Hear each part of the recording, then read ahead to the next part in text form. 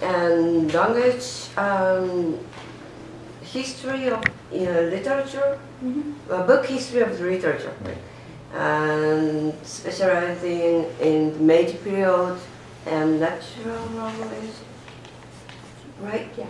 So um, they are all integrated, all blended in her today's topic, I think. So language of Empire in Taiyo magazine, 1895 to 1925.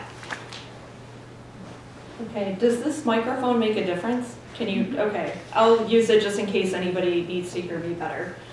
Um, so Setsuko had a great introduction. I would just like to mention, um, I found it interesting that Martin uh, brought up the computer science students taking Japanese because about 20 years ago when I was 18, I started taking Japanese as a computer science major.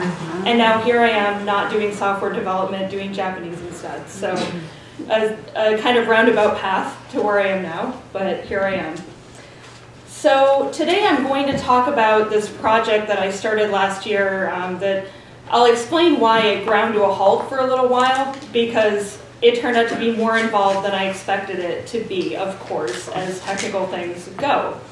But I'll tell you a little bit about the project and then I'll tell you what I've done concretely so far working on it. So first of all, I'll just explain what is Taiyo for those of you who don't do Kindai uh, media history. I may be, I'm not sure how widely known it is, but it was one of the most popular magazines in the late Meiji, Taisho, and I guess uh, extremely early Showa period. Kind of a general interest magazine. It came out monthly, pretty thick, um, lots of illustrations. They started experimenting with lithography right when it started in 1895 and just printed pictures of the most random things in every issue just to like draw in readers. So it's very cool to look at it in person. And it covered all kinds of different topics. So it was current events, politics, but then had literary works serialized in it, covered culture, arts, had translations. And it was published by Hakubunkan, who I actually studied as part of my dissertation. They were one of the biggest publishers of this period. So in terms of my project, what was I interested in with regards to Taiyo magazine? So at this time, as I'm sure pretty much everybody is well aware, um, the expansion of the Japanese Empire began in about 1895 with um, annexing Taiwan, then colonizing Korea, increasing hostilities leading up to the Pacific War in China, the puppet state of Manchuria. Um, I came across in graduate school the um, language of Naichi and Gaichi, the homeland and then the colonies, the outer lands um, which always really interested me, um, along with this discourse of Pan-Asianism, trying to draw the colonies into Japan in this very complicated way. Um, as a side project, I'm also very interested in kind of the Meiji nostalgia that shows up in the 1920s. As a book historian, very interested in changing technologies, the spread of literacy, and ultimately the changing idea of the nation, drawing this language together. How do people think about being Japanese and what Japan means at this time, which is really changing. So um, just to go over the questions that I formulated when I first came across Taiyo magazine, and I'll explain what I mean by that in a second. Once again, um, you know, what is the relationship of Japan and its colonies? How are people talking about what Japan means, what it is, how do they think about themselves versus the colonies. Um, and again, how is the Meiji period or the Meiji emperor being talked about? Because um, Taiyo started right at the end of the Meiji period, and then in the Taisho period, of course, the death of the Meiji emperor and the end of the Meiji period was a topic. So what can Taiyo, this general interest magazine that prominent authors are writing in, what can that tell us about the discourse of the time? So what was I working with? And Martin, I think, rightly alluded to Japan being rather behind in digital publishing of um, both contemporary works and historical documents. There are the um, NDL digital collections are always growing for this time period, but unfortunately OCR is next to impossible on pre-war Japanese, Chinese, and Korean texts. And it's a separate project that I'm working on at Penn right now, but um, have yet to acquire funding for that one. It's a much larger scale than, than this project. Um, but I was very excited to find that Taiyo magazine has been hand entered by um, the National Institute of Japanese Language and Linguistics um, in Japan. They didn't do the whole magazine, but they did about 3,200 articles from five select years. And so this text is available to me that wouldn't otherwise be possible to analyze by computer because it would just be a page image um, with, of course, this wacky layout and lots of advertisements and illustrations, as I said, so it's really hard to convert that into plain text for the computer without doing it by hand. Um, luckily, they also put in a lot of metadata for each article, so like the author, title, genre, according to um, Nippon Decimal Classification, like their equivalent of LC call numbers, and what kind of language it was, just a ton of linguistic stuff in there. And of course, no illustrations or advertisements, so the format does change from looking at the print version, but you always lose something in the translation to machine readable text. So just have to deal with that. And also thanks to Interlibrary Loan that allowed me to get this DVD with the corpus on it because of course it's not online because of copyright reasons. But um, always thank you to academic libraries in the United States who supplied me with this corpus. Um, I already kind of went over the fact that it's just a different interaction with the text than original readers would have had, so keep this in mind as I talk about it. That's the limitation. So I had um, a lot of issues, a lot of questions to ask about the corpus itself when I started, not just my research questions, but very practical questions. So as for the metadata, I want to grab that out of the corpus where do I store it and how in a format that I can analyze later. Um, I'll explain what I mean by stop words, tokenizing, and dividing the corpus.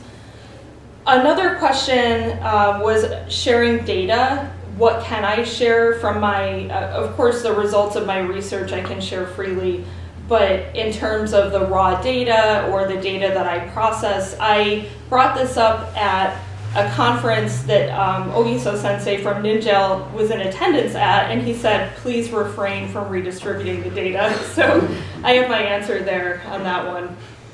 But so I'll tell you about my first steps with these concrete questions in mind. What did I have to do to make this work? Um, and it was a lot more work than I thought it would be.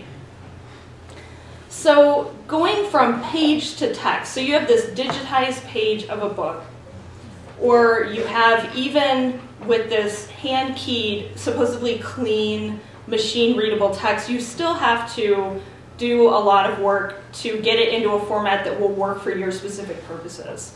So as I alluded to, um, get the metadata out of the files, clean it up, possibly store it. Um, you may have to remove some technical information from the text, you may want to tag words with parts of speech or other information. And then if it's Japanese and Chinese, as you know, there is no white space separating the words, which the computer expects to see. So then you run into the problem of segmenting the words and putting spaces between them. And in my case, uh, these came as one file per issue of the magazine, so I had to split it into separate files, one per article. That was my decision. So I already told you about the research questions, but my goal was to remove this, these technical um, XML tags from the document to clean it up, make a CSV, which um, is basically like an Excel spreadsheet for the metadata, put spaces between the words, and then again, I'll explain what stop words are, but that's basically words that software should ignore because they don't have a lot of meaning. And then I was interested in using three tools, Voyant Tools, AntConc, and Topic Modeling Tool to start visualizing and exploring the data. So this is what the initial files looked like. And even if you're not familiar with XML files or um, you know text that you might just receive with a lot of technical metadata in it, you can see this looks kind of like a mess. And over on the left is the Japanese text from the article, but all these blue text is all the tags that I had to remove. So um, with, given that I have a computer science background, I dove into this myself, and I will say Um, as you'll see, I went through a lot of steps. This was difficult even for me because this is a very poorly documented process. So I encourage those of you without programming knowledge to seek out collaborators, not just somebody who can do the work for you, but somebody who has a genuine interest in your question and wants to work with you, who has those skills. There are computer scientists out there who are very interested in working on this kind of project, and also linguists who tend to have more programming skills as well. So I used a programming language called Python, which had some plugins. Beautiful Soup is for HTML, which really is like a soup most of the time. so that's where that name comes from. eTree works with XML. Um, CSV library to create that spreadsheet, and then MeCab puts spaces between words for you for Japanese. Um, finally, Jupyter Notebooks is a great piece of software to manage your Python code in a web browser to collaborate with other people and to see the results live of your, of your uh, code. Um, another really useful tool is a text editor called Text Wrangler, and that's uh, what I used to just view the text. Um, I really like that software, it is free. I'll explain why I had to use both Google Sheets and Excel, um, and then finally the three tools that I was interested in once again.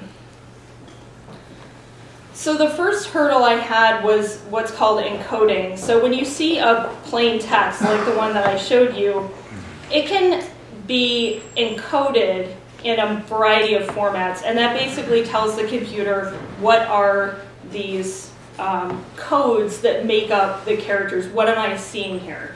There's one called Shift-JIS that you might be familiar with from your web browser that's specific to Japanese.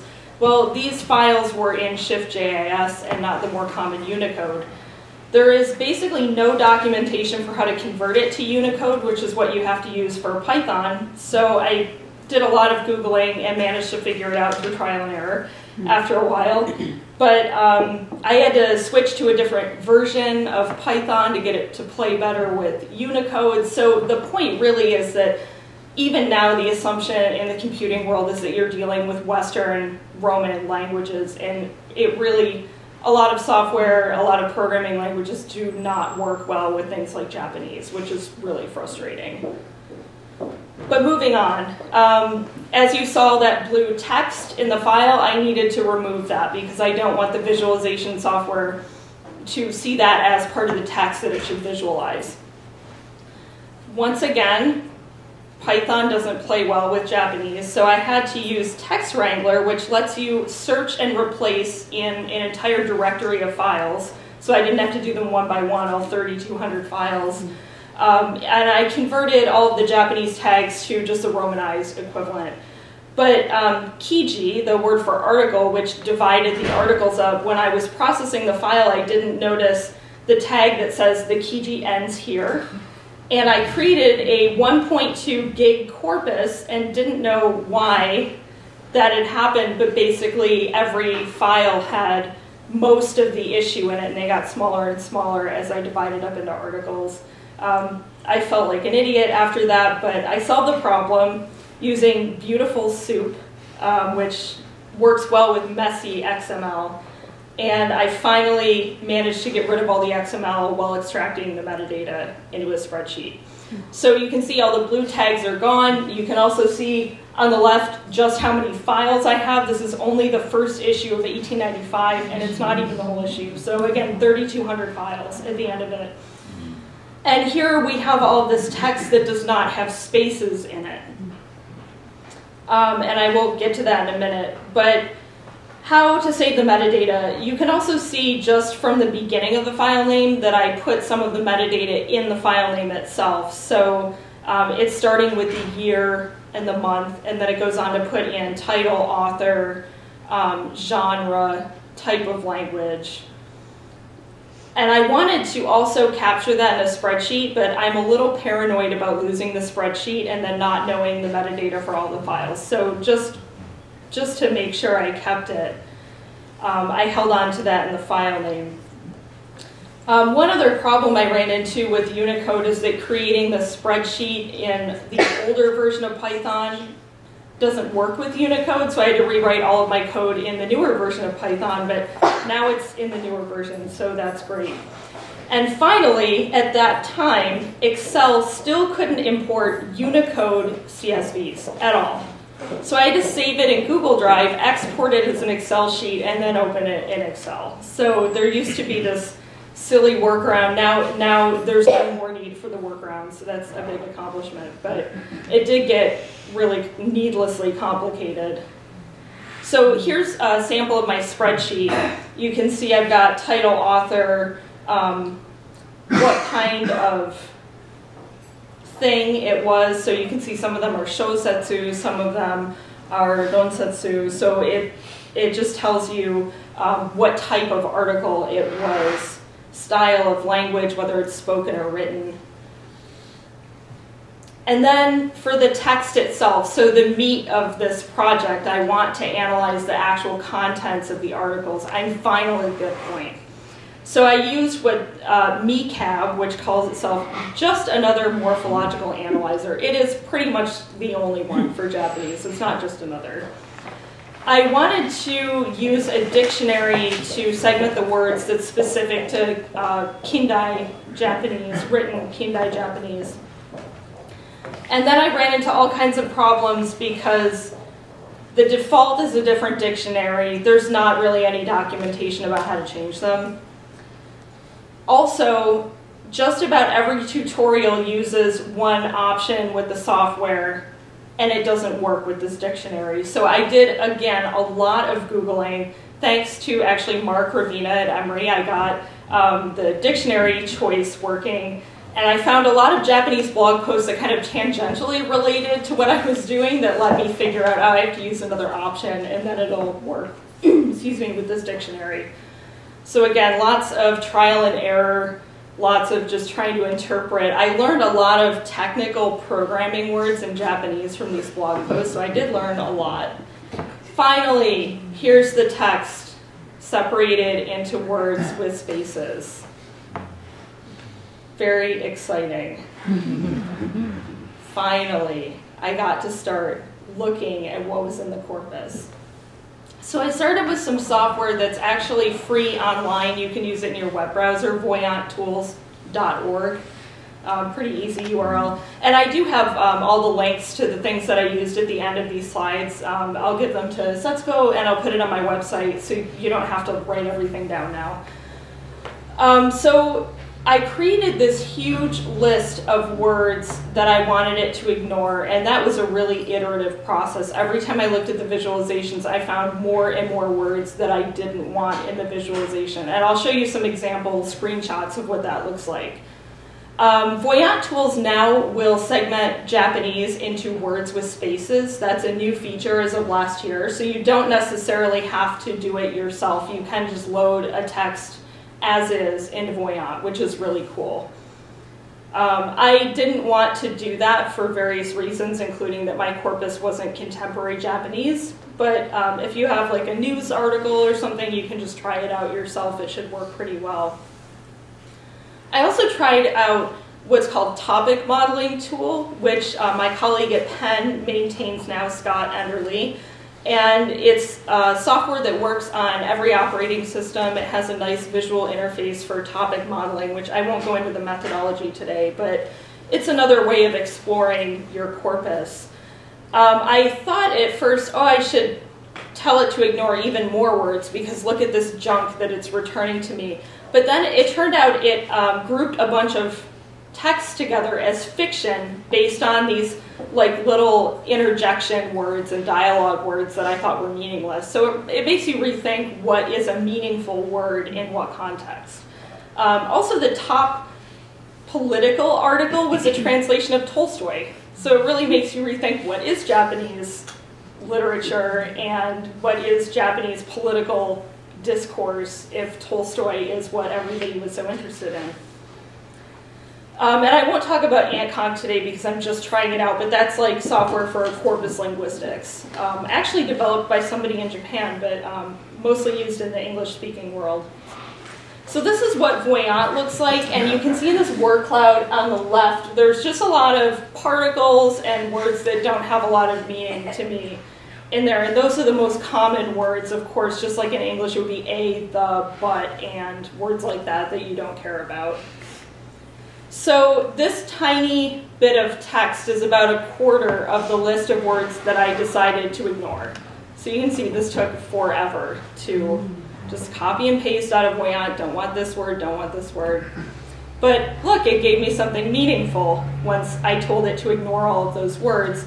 Now I get more um, salient words like, you know, Navy and citizen, um, prefecture, army. And this is just for the January 1895 issue of Taiyo. So you can see what were people talking about at that time. So I just, again, have started to explore the corpus because it took so long to clean the data. So what I'm interested in now, I've kind of narrowed down my topic. I'm interested in foreign policy with regards to East Asia, and I'm including Russia in East Asia in that category as well because of the Russo-Japanese War and all the interactions in Eastern Russia um, as regards to Japan.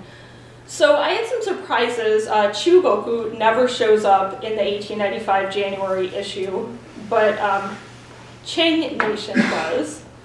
Like, oh, of course, but you know, I just didn't think about that. Um, other things just came up besides like Shina, I expected to be in there, but there were just other words for China and Chinese people that I didn't expect to be there. Um, so I'm interested in looking at more wars and just seeing how we're Japanese talking about their enemies and about other people in Asia.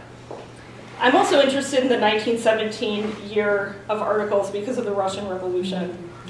So lots of interesting stuff in there. What can I learn about what people are talking about, at least in the context of a general interest magazine? But as you can guess, there's a lot of human interpretation involved in that. The computer can only tell you the beginning, then you do the work. I guess at both the beginning I did a lot of work, then the computer can tell me some things, and then I do even more work. And finally, this is a page that I think will be very relevant to you in the slides. Um, tools and resources, these are all of the things that I used in my research so far. Maybe not all of them, but some important things that you'd want to check out. And then also some tutorials at the bottom um, my colleague Heather Froehlich wrote a great um, introduction using AntConc. She's a corpus linguist at Penn State.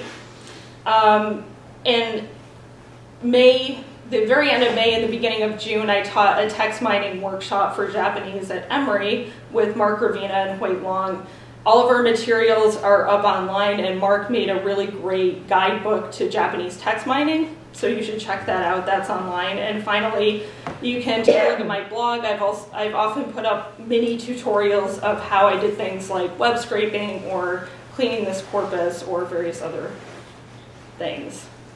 So again, I'll share these slides so you don't have to write down a bunch of URLs. And finally, if you want to get a hold of me about this project or anything else related to Japanese text mining, um, you have many options, including visiting me at Penn if you're in the area. Feel free. Thank you. Just around,